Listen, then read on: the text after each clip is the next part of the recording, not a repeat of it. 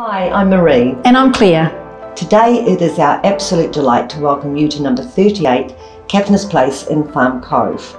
This exceptional family home is on the market for the very first time in 34 years and it awaits your immediate inspection.